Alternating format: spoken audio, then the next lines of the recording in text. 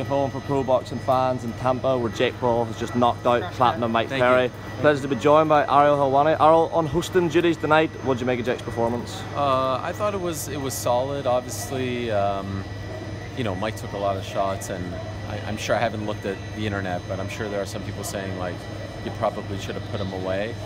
But those people are probably people who are unfamiliar with Mike Perry. Mike Perry's just a different kind of cat. He comes alive when he gets hit, and so Jake got the stoppage. He got the job done, and uh, now we see what's next. Hello, everyone. Hey guys, how are you? How are you? How are you? Nice to meet you.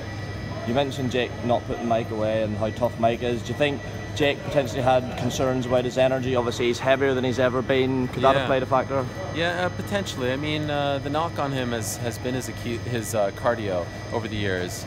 But uh, Mike's just different, man. I mean, Jake was, was piecing him up. And, and Mike did have his moments. He came alive, which he usually does. But, you know, we're seeing the progression of Jake Paul.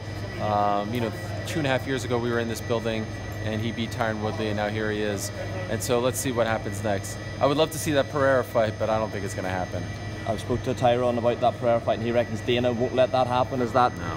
It's just the UFC contracts don't let it happen, you know. And I'm sure that if they wanted to, they could let it happen. But man, it would be a great story. And Pereira would give him a tough fight, and he's his size. Sure. Um, but I, you know, they're not letting a UFC. And you know, I get it. Uh, that's just the way the business is run. Well, all right, we'll leave it there. I said one minute. Thanks very much. Cheers, man. Cheers. Have a good one.